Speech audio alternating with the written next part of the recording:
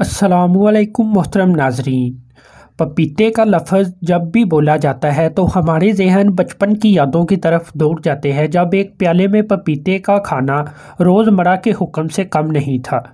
फितरत की खूबियों से माला माल इस लजीज फल की ताजगी और मीठे जायके का मुकाबला करना बहुत मुश्किल है। अगर आपकी जिल्द फीकी है या आप पानी की कमी महसूस कर रहे हैं या आप सिर्फ़ कुछ वज़न कम करना चाहते हैं तो आपको बस कुछ पपीता खाना है। ये फितरत की वो दुआ है जो आपके सेहत के तकरीबन तमाम मसाइल का इलाज कर सकती है। आइए आज की इस वीडियो में हम इसके आपको चंद हैरत अंगेज़ सेहत के फ़ायद पर कुछ नज़र डालते हैं और बताते हैं कि इसके और कौन कौन से फ़ायदे हैं। तो वीडियो में आगे बढ़ने से पहले हमारे चैनल को सब्सक्राइब कर लीजिए और वीडियो को लाइक कर दीजिए ताकि आपको इस तरह की मुफीद वीडियोस रोज़ाना की बुनियाद पर मिलती रहें।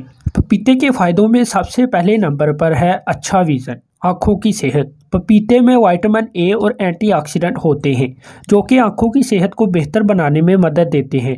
वाइटामिन ए कॉर्निया की हफाजत करता है, जबकि एंटीऑक्सीडेंट रेटिना के इनहतात को कम करते हैं। इस लजीज फल बसारत को मुकम्मल तहफ़ फ्राहम करता है और यहाँ तक कि इसे एक हद तक बेहतर बनाता है। पपीते का सेहत बख्श इस्तेमाल दर हकीकत आपकी बिनाई को ख़राब होने से रोक सकता है और आपकी बिनाई को दुरुस्त करता है। नंबर दो, हाजमा को दुरुस्त करें। फलों में पानी और फाइबर की मकदार के साथ, अगर ये हाजमे में मदद नहीं करता है तो हैरत की बात होगी। इसके अलावा पपीते में बेशुमार खामरे भी पाए जाते हैं, जो खाने की अशिया को तोड़ने में मदद देते हैं और निज़ाम हाजमा के बाफ्तों की हिफाजत करते हैं। खाने से एक घंटा पहले या बाद में पपीता खाना सेहतमंद हाजमे में मदद फराहम करता है और आपके जिसम को आसानी से चलाने में मदद करता है। नंबर तीन एंटी एजिंग जिल्द आपके जिसम का सबसे बड़ा अजू है और ये आपके जिसम के अंदरूनी कामों की अक्सी करती है।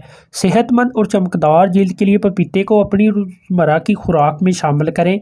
यह वाइटामिन से भरा हुआ है, जो काफ़ी बड़ी एंटीऑक्सीडेंट खुराक फ्राहम करता है और जिल्द को सख्त और चमकदार बनाता है और इसलिए जुड़ियों, जड़ियाँ और फीकी हुई जिल्द को रोकता है। नंबर चार कुत मुदाफ़त बढ़ाता है। पपीते गजाइए से भरपूर होते हैं और इनका इजतमाही फ़ायदा क़वत मुदाफ़त को बढ़ाता है। तजवीज़ करदा वाइटमिन सी में से 200 परसेंट मुदाफ़ाती निज़ाम को बढ़ाने में अहम करदार अदा करता है।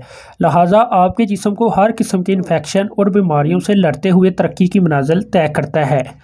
नंबर पाँच और आखिरी नंबर पर है, वज़न कम करने में मदद करें। पपीते में कैलोरीज बहुत कम होती हैं और इसमें मौजूद फाइबर आपको ज़्यादा देर तक पेट बनने में मदद देता है। एक सेहतमंद हाजमा और मुदाफ़ाती निज़ाम के साथ, पपीता हर तरह से वज़न कम करने में मदद करता है। कुदरती रेशे जिसम को साफ़ करते हैं और उसे साफ़ करते रहते हैं। इस तरह जिसम को सेहतमंद और तंदुरुस्त भी रखता है।